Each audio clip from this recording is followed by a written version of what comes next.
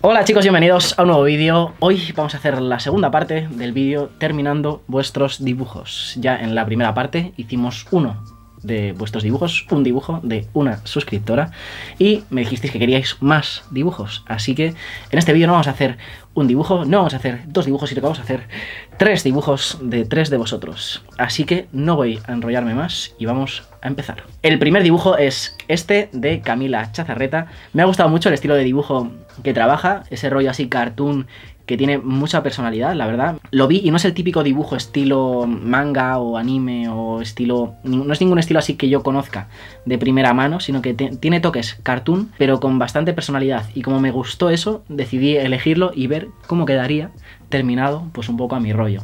Para este dibujo empecé haciéndolo de una manera bastante sencilla, como vengo trabajando desde los últimos vídeos, trabajando muchísimo con colores planos, algunas líneas bastante sueltas, líneas de color, de hecho, no trabajo con línea negra, y con una sombra sencilla y algunos toques así con distintas capas en modo multiplicar y tal, lo que vengo haciendo de los vídeos anteriores. Como me resultó bastante sencillo alcanzar un resultado normal, digamos en el dibujo, eh, como si fuese una iluminación suave, un dibujo con una iluminación muy normal, decidí probar algo nuevo. Porque he estado viendo mucho últimamente dibujos con un efecto de luz, que es como si fuese la típica luz que entra por, uno, por un hueco, por una ranura, por una ventana, e ilumina solamente una parte del personaje. Y como lo he estado viendo y tal, digo, bueno, pues este dibujo, como es sencillo y así, pues puedo probar esto por encima de lo que ya tengo, y si queda bien, pues para adelante, y si no, pues pues para atrás.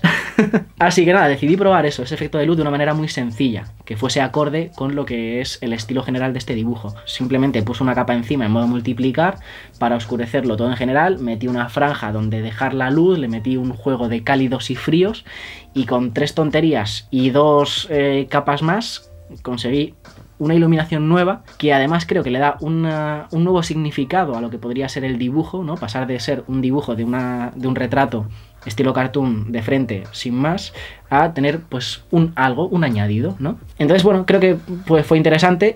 Me parece que el dibujo eh, normal, sin efectos de luces y tal, queda muy guay, porque el estilo de dibujo mola mucho, entonces ya de por sí funciona. Pero bueno, decidí hacer esta segunda versión, que el resultado final sería este.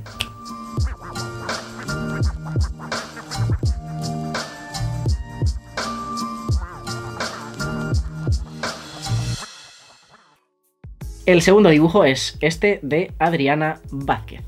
Adriana me ha enviado un Lilo and Stitch, Lilo mezclado con un koala y un Stitch de peluche que me decía en el correo que en su cabeza molaba mucho la idea y que pensaba que iba a ser bestial, pero que estaba ahí a medias y no sabía muy bien si iba a llegar a ser lo que ella se pensaba. Así que dice que no sabía para dónde tirar ya, me lo pasó el dibujo y dijo, haz lo que quieras con él. Así que bueno, vamos a terminar este dibujo que yo creo que, que puede ser un resultado muy interesante, ¿vale? Porque Lilo y Stitch es como un estilo de dibujo muy sencillo, ¿no? Es como el manga y tal. Entonces, el intentar transformar eso a mi estilo, pero conservando esa esencia creo que podía ser interesante. Sencillamente que trabajé con colores planos, como está haciendo eh, en estos últimos dibujos, con una sombra muy sencillita, una sombra muy general y una pequeña luz de rebote. Es como la iluminación que explico en el, en el curso de Domina la Luz, pero versión ultra simplificada. Trabajo con esos tres tonos y con línea para marcar lo que serían las oclusiones, que son esos huecos que quedan entre, entre dos mm, formas superpuestas. En los pliegues de la ropa, por ejemplo, o la, sí, la, la, camiseta sobre el pantalón, o los pliegues de aquí, por ejemplo. Estos serían las oclusiones. Pues para esas, para esas zonas es donde utilizo la línea generalmente. Total, que lo he trabajado de una manera muy sencilla y tenía pensado avanzarlo muchísimo más incluso probar a meterle más volumen y más cosas, pero lo estaba viendo tan bonito, de esa manera sencilla, y conservaba tanto la esencia de lo que es Lilo y Stitch eh, eh, original, que decidí dejarlo así. Dije, ¿para qué voy a seguir si lo voy a estropear? Así que nada, este sería el resultado de Lilo and Stitch.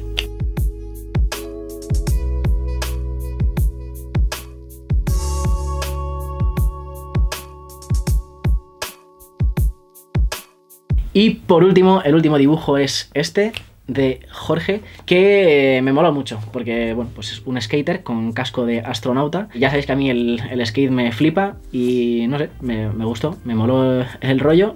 A nivel de concepto, pues bueno, puede tener varios conceptos internos, eh, subyacentes, pero sencillamente el dibujo me gustó, por eso decidí hacerlo. Y además me gustó mucho que era una foto del cuaderno y con el fondo, bueno, con el fondo azulito que tiene por ahí. Y como visteis en el primer dibujo de terminando vuestros dibujos, era el mismo caso, ¿no? Lo que pasa es que en el primer caso, en el caso del primer vídeo, lo que hice fue eliminar lo que es la foto, eliminar el fondo y quedarme solo con lo que es el dibujo en sí y trabajarlo como un dibujo digital.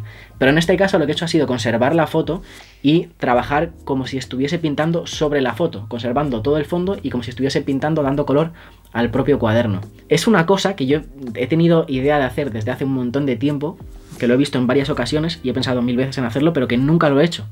Entonces ha sido como una buena ocasión para probar y para ver pues, bueno, qué resultados se podía obtener de esto. Este he intentado trabajarlo también de una manera muy sencilla, pero he intentado darle un toquecito extra, ¿vale? He intentado darle un poco más de gesto, que veréis que es hacia donde estoy, estoy dirigiendo todos los dibujos que hago ahora mismo, durante, como hemos dicho, durante los últimos vídeos, para conseguir esos resultados rápidos y molones, con gesto, con trazo suelto, con esa sensación orgánica de, de dibujo, no de súper amanerado, súper trabajado, súper dibujado, súper... No, más suelto, más trazo, más auténtico, no sé. no sé cuál sería la palabra, para mí es orgánico la palabra. Entonces he probado ahí algunas cositas, he trabajado mucho con selecciones, vais a ver más adelante que estoy trabajando un montón con selecciones porque me está molando mucho el rollo, ya, ya veréis en próximos dibujos que tengo hechos pero no he, no he podido mostrar todavía. Y luego en este dibujo me ha gustado mucho trabajar lo que es el casco, porque he intentado meterle como una atmósfera de universo dentro de lo que es el casco, trabajando con esos morados, azules y tal, y dándoles esos, eh, efectos de salpicadura, de puntitos como rollo estrellas o planetas o sabe Dios qué, qué es eso. Es un dibujo sencillo, pero creo que hemos conseguido darle ahí un toquecito con el color que creo que ha quedado bastante, bastante bien. Así que nada, este sería el resultado del skater eh, universal de Jorge.